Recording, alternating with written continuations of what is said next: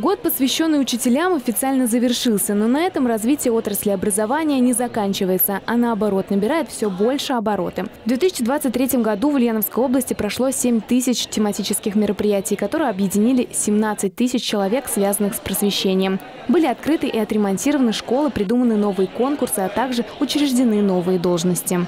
Была необходимость в правовой помощи, в консультациях э, у педсостава.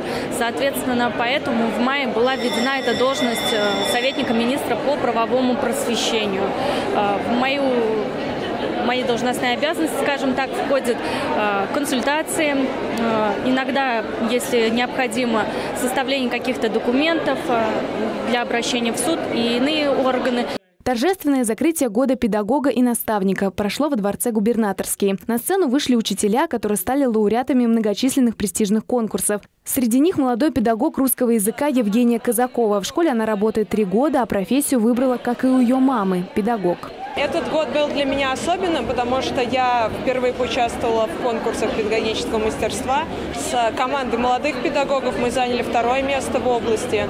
А сама стала победителем регионального этапа хранителя русского языка. И в команде большой страны мы тоже стали призерами от школы в этом году. Итоги подвел губернатор Ульяновской области Алексей Русских. Он отметил, что год прошел продуктивно, успешно и оправдал все ожидания. А еще поблагодарил педагогов за их ежедневный труд и неоценимый вклад в развитие региона. Важно продолжить развитие наставников. Этому вопросу был посвящен последний Государственный совет, на котором президент России отметил, что сегодня традиции наставничества возрождаются, развиваются, причем на качественно новом уровне. Также на мероприятии были поставлены задачи на 2024 год. Среди них запуск просветительского проекта «Академия родителей», проведение конкурса «Лучшая безопасная школа» и дальнейшая работа по повышению статуса педагога-наставника. Светлана Карпухина, Олег Тоньшин, Улправда, ТВ.